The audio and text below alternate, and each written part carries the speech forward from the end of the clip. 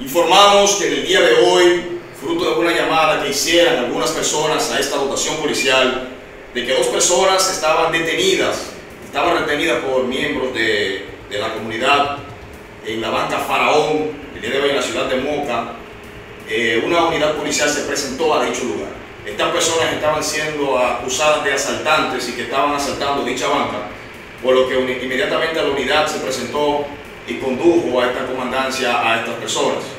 Queremos aclarar que los nombrados Carlos García López y Gabriel Reyes López no son asaltantes, no han sido asaltantes y no tienen ningún antecedente penal en esta comandancia. Los mismos estaban cambiando un ticket de lotería premiado y por una desinformación que hubo en los medios, en algunos medios de, de redes sociales, estos quedaron tergiversados y mal informados que eran asaltantes, pero nosotros como la Policía Nacional de aquí de la dotación de Espaillat reiteramos que estas personas aquí presentes no son asaltantes, simplemente estaban cambiando un ticket y por la desinformación quedaron como si lo fueran, pero reiteramos que no son asaltantes. La policía actuó bien, actuó bien, nos, nos dio buen trato, si no, si no, llegan, si no llegan rápido, nos, nos han matado.